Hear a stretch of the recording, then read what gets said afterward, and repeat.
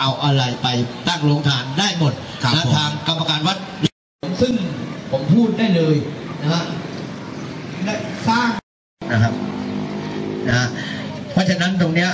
เราจะหยุดนะครับอ่าพี่อดุลสาธิกันนะฮะหลักการพะโลงนะฮะกับพ่อแม่พี่น้องนะได้รับฟังด้วยนะก็ตำรวจเองก็พูดในเวลา 10 โมงของวันที่ 1 มกราคม และวันที่ 3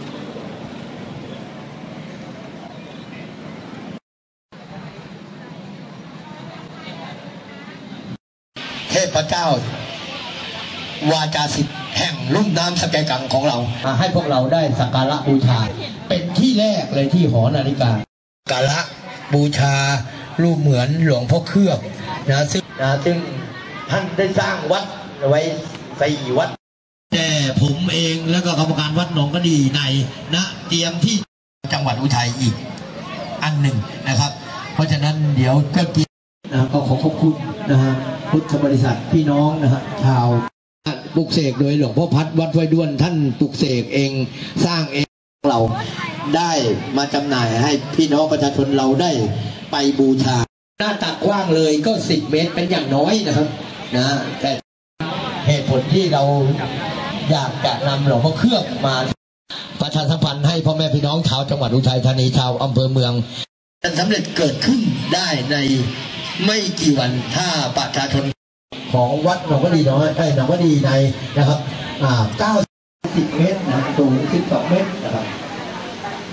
นะแต่งที่ยึดเหนี่ยวจิตใจนะหรือเป็นที่การเคลื่อนย้ายหลวงพ่อเคลือบมามาจากจังหวัดสมุทรสาครครับลงหล่อสำลิดครับผมครับผมมาอันนี้ถึงนี่ประมาณเวลาสัก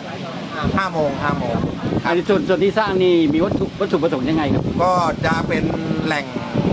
รรมะให้คนได้มากราบสักการะหลวงพ่อเคลือบครับผมสิทธิ์หลวงพ่อเคลือบที่นับถือหลวงพ่อเคลือบที่มากที่สุดในประเทศไทยครับผมหน้าตักกว้างเท่าไหร่ครับพี่ หน้าตักกว้างประมาณ 14 เมตรกว่าครับผมสูงครับสูสูงง ประมาณ 12 เมตรกว่า มูลค่าเท่าไหร่ครับ มูลค่าเฉพาะตัวหลวงพ่อประมาณ 28 ล้าน ครับผม แล้วก็ฐานหลวงพ่อนี่ก็อย่างน้อยเบ็ดเสร็จเกือบเกือบห้าสิบล้านนะครับผมกว่าไปอะนะครับผม ครับผม การเคลื่อนย้ายมาถึงวันนี้จะมีเคลื่อนย้ายไปที่ไหนบ้างคไปรับหนองขยาง ไปหน้องฉาง แล้วก็ไปทุ่งนาไปบ้านไร่ครับผมแล้วก็หกกลับไปลานสักไว้พดรักษาอ่านั่นแหละคือถึงมาสว่างอารมณ์แล้วแปดอำเภอเลยใช่ไหมฮะ ครับผมไปไป